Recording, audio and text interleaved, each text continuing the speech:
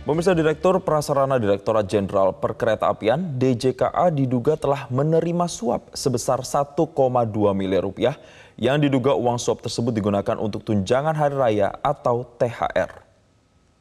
Komisi Pemberantasan Korupsi telah menetapkan 10 orang tersangka dalam operasi tangkap tangan kasus dugaan suap proyek di lingkungan Ditjen Perkeretaapian Kementerian Perhubungan. Salah seorang dari 10 tersangka tersebut adalah Direktur Prasarana Direktorat Jenderal Perkeretaapian atau DJKA Harno Trimadi. Wakil Ketua KPK Johanis Tanak mengatakan Harno diduga terlibat suap proyek pembangunan dan perawatan jalur kereta api di Kementerian Perhubungan pada tahun anggaran 2018 hingga 2022. Johanis Tanak menyebut telah terjadi rekayasa lelang di balik penentuan pelaksana proyek hingga pemenang tender dalam proyek pembangunan perbaikan perlintasan sebidang Jawa Sumatera senilai 1,1 miliar rupiah.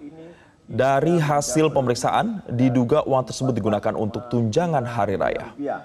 Dan berikutnya tentu tentu terus tentu terus KPK kembang. Adapun kronologis penangkapan dapat kami jelaskan sebagai berikut.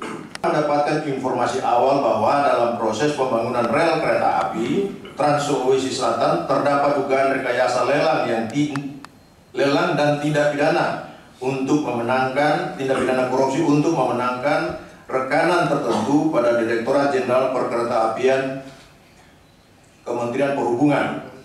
Proyek perbaikan perlintasan sebidang Jawa Sumatera senilai 1,1 miliar penerimaan uang dari hasil pemeriksaan di antaranya diduga untuk tunjangan hari tua atau THR ya Oh, tunjangan hari raya, THR, bukan tunjangan hari tua, sorry. Tapi emang tanggal tua antar hari raya. Tanggal tua. Iya, udah tanggal tua menjelang hari raya. Udah nggak apa-apa, sudah karena sudah jam sudah pagi ngantuk.